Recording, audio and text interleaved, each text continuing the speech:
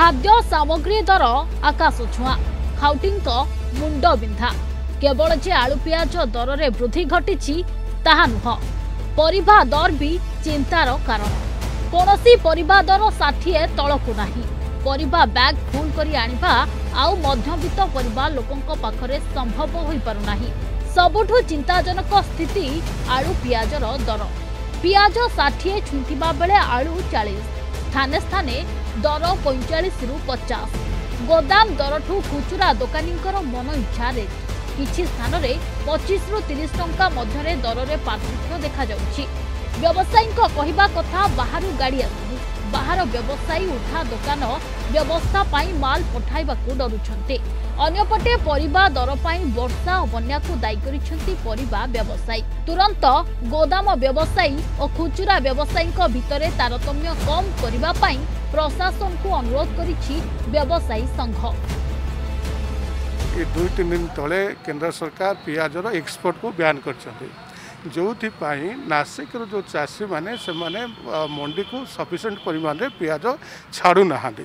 ତେଣୁ ମାର୍କେଟରେ ପିଆଜ ଆସିବାରେ ଟିକେ ସର୍ଟେଜ୍ ଅଛି ଏବଂ ଉଚ୍ଚା ରେଟ୍ ଅଛି ଯେଉଁଟାକି ଦୁଇ ତିନି ଦିନ ଭିତରେ ହୁଏତ ଏଇଟା ଟିକେ କମିଯାଇପାରେ।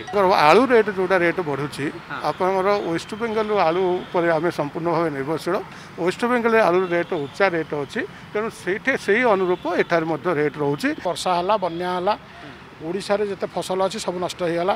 ବାହାର ଷ୍ଟେଟ୍ ବାଲା ଯେଉଁ ବିଶ୍ୱାସରେ ଆମ ପାଖକୁ ସବୁ ପରିବା ପଠାଉଥିଲେ ସେମାନେ ଆଉ ବାହାର ଷ୍ଟେଟ୍ ବାଲା ପଠାଉନାହାନ୍ତି। ଯେହେତୁ ଆମମାନଙ୍କ ପାଖରେ କୌଣସି ନିଜସ୍ୱ ଜାଗାରେ ହାଟ ବଜାର କମିଟି ଆଉ ନାହିଁ ସେ ସବୁ ରାସ୍ତାଘାଟ ବା ପଡ଼ିଆରେ ବିକ୍ରି ହେଉଛି। ଏଣୁ ସେମାନେ ଅତ୍ୟଧିକ ମାଲ ଆମ ପାଖକୁ ପଠାଇବାକୁ ସସସ୍ କରୁନାହାନ୍ତି। ଯେଉଁ ମାଲ ପଠାଉଛନ୍ତି ତାହା ବି ଠିକ୍ ଦରରେ ଏଠି ବିକ୍ରି ହେଉନି। ତେଣୁ ଯଦି ସେମାନେ ତାଙ୍କ ନିଜସ୍ୱ ଜାଗାକୁ ଉଠି ଆସନ୍ତି ଆଉ ନିଜ ଜାଗାରେ ଦୋକାନ କରନ୍ତି ନିଶ୍ଚୟ ଆମେ କୋଭିଡ଼ ମାନିକି ଆଇନ ପାଳନ କରିବୁ ତା ଦେହରେ ଦରଦାମ ବି କମିବ ଗୋଟିଏ ପଟେ ମହାମାରୀ ଅନ୍ୟପଟେ ପ୍ରାକୃତିକ ଦୁର୍ବିପାକ ସାଜିଛି ଦାଉ ଆଳୁ ପିଆଜର ତାତି ଏବେ ରାଜ୍ୟର ସବୁଠାରୁ ବଡ଼ ପନିପରିବା ମଣ୍ଡି ଛତ୍ର ବଜାରରେ ଦେଖିବାକୁ ମିଳିଛି। ମାତ୍ର ଦୁଇ ମାସ ଭିତରେ ପିଆଜ ଦର ଆକାଶ ଛୁଆଁ ହୋଇଛି। ଅଗଷ୍ଟ ମାସରେ ପିଆଜ ରେଟ୍ ପନ୍ଦର ଟଙ୍କା ଥିବାବେଳେ ଏବେ ତାହା ପଚାଶ ଟଙ୍କାରେ ପହଞ୍ଚିଛି। ସେହିପରି ଆଳୁ ବି କିଲୋ ପ୍ରତି ପଇଁତିରିଶରୁ ଚାଳିଶ ଟଙ୍କାରେ ବିକ୍ରି ହେଉଛି। ସେପଟେ ପିଆଜ ଗୋଦାମରୁ ପର୍ଯ୍ୟାପ୍ତ ମାଲ ମିଳୁନଥିବାରୁ ଚିନ୍ତାରେ ଖୁଚୁରା ବ୍ୟବସାୟୀ। ପିଆଜ କିଲୋ ପ୍ରତି ଦର ପଚାଶ ଟଙ୍କା ହୋଇଥିବାରୁ ଏହା ସେମାନଙ୍କର ବ୍ୟବସାୟୀକୁ ଏବେ ଢେର ପ୍ରଭାବିତ କରିଛି। ତେବେ ଏହି ଦର ନିୟନ୍ତ୍ରଣ ହେବା ପାଇଁ ତଥାପି ଆହୁରି ମାସେରୁ ଅଧିକ ସମୟ ଲାଗିବ ବୋଲି କହିଛନ୍ତି ଛତ୍ର ବଜାର ପନିପରିବା ବ୍ୟବସାୟୀ ସଂଘ ସଭାପତି। ଆଳୁ ପିଆଜ ତ ଆକାଶ ଛୁଆଁ ରେଟ୍ ଧରିଲାଣି। ଆଳୁ ତ ଆଗରୁ ପଚିଶ କି ତିରିଶ ଥିଲା ଏବେ ପଇଁତିରିଶ ଟଙ୍କା ପିଆଜ ପଚାଶ ଟଙ୍କା ଚଳିବା ତ କଷ୍ଟକର ହେବ। ଯାହାହେଲେ ଯେଉଁଠି ସପ୍ତାହକୁ ତିନି କିଲୋ ଯାଉଥିଲା କିଲେ ଦୁଇ କିଲୋରେ ତ ଚଳେଇବାକୁ ପଡ଼ିବ। ହଁ ଦିନକୁ ଦିନ ବଢ଼ି ବଢ଼ି ଚାଲିଛି ଦର। ତ ବର୍ତ୍ତମାନ ପିଆଜ କିଲୋ ପଇଁତିରିଶ ଟଙ୍କା ବିକ୍ରି ହେଉଥିଲା ପଚାଶ ଟଙ୍କାରେ ପହଞ୍ଚିଲାଣି। ଆଳୁ କିଲୋ ତିରିଶ ଟଙ୍କା ବିକ୍ରି ହେଉଥିଲା ପଇଁତିରିଶ ଟଙ୍କାରେ ପହଞ୍ଚିଲା। ଗାଡ଼ି ଯେମିତି ଖଣ୍ଡେ ଦୁଇ ଖଣ୍ଡ ଖଣ୍ଡେ ଦୁଇ ଖଣ୍ଡ ସେମିତି ଗାଡ଼ି ଆସୁଛି। ଆଗରୁ ଦୁଇ ବସ୍ତା ଚାରି ବସ୍ତା ଆଳୁ ବିକୁଥିଲୁ ବର୍ତ୍ତମାନ ଗୋଟେ ବସ୍ତା ପିଆଜ ବିକିଲେ ଦୁଇ ଦିନ ବିକୁଛୁ ଗୋଟେ ଗୋଟେ ଆଳୁ ଦିନକୁ ବିକୁଛୁ। ଆଳୁଟା ହେଉଛି କେବଳ ବେଙ୍ଗଲରୁ ଆସୁଛି ଗୋଟେ ଜାଗା। ବର୍ଷା ହେଲା ଅମ୍ପନ ଫମ୍ପନ ହେଇକିରି ବନ୍ୟା ଆସାମ ଘର ଦୁଇ ଥର ହେଇଗଲା। ତାପରେ ଭାରତ ବର୍ଷର ବିଭିନ୍ନ ଜାଗାରେ ଯେତେବେଳେ ବନ୍ୟା ହେଇଗଲା ପ୍ରାୟ ଆଳୁ ସେଠୁ ଗଲା ଭାଇ। ଷ୍ଟକ୍ କମ୍ ରହିଛି।